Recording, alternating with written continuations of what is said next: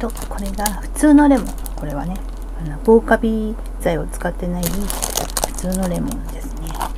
と、これ、うんと、ちょっと珍しい、なんていうんだっけ、これ。こういうものを。ミラクルフルーツ。なんかこれを口に入れてからレモンとか食べると酸っぱくないっていう甘く感じるっていう実をゲットしましたのでちょっと試してみよう試してみたいと思います。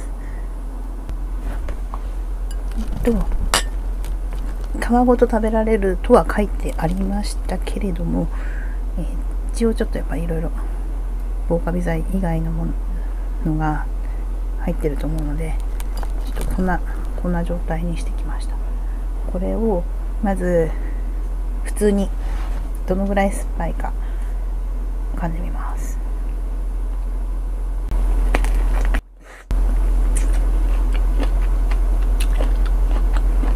うん。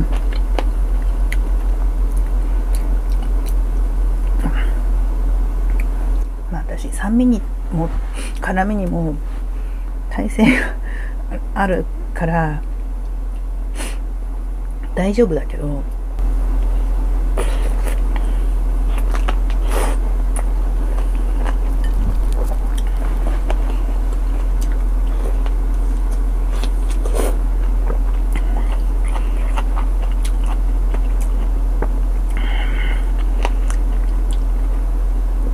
まあね酸っぱいっちゃ酸っぱいよね。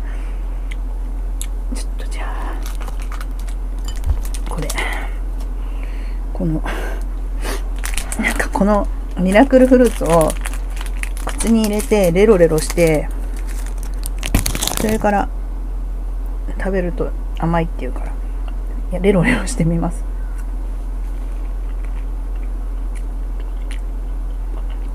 まあ普通に甘い。甘いドライフルーツ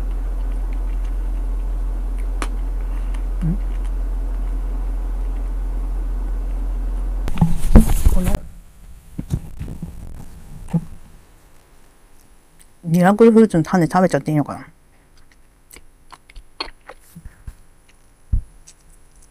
やめとこう。なんかちっちゃい種出てきた。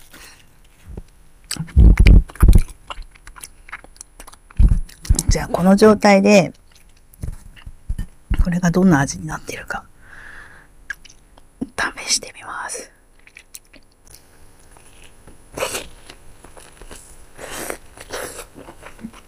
すっごい甘い。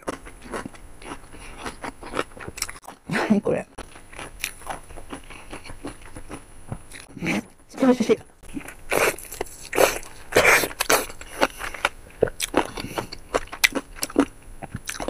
なんか、柑橘系の普通の甘いフルーツを食べてるぐらいの。うん。うん。甘っ。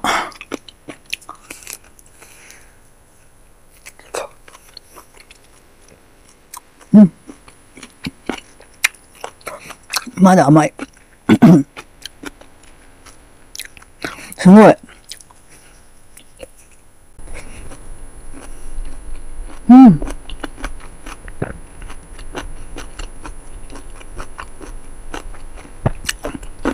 甘い。美味しい。レモンがみかんになっちゃった。すごい。これちょっとやってほしいみんな。ミラクルフルーツをゲットして、レモンを食べてみてください。これは、ちょっと、すごい。甘いかな、これ。あ、お水を飲んだ後の後味が、なんかみかん系の、オレンジジュース系の後味になってる。すごい。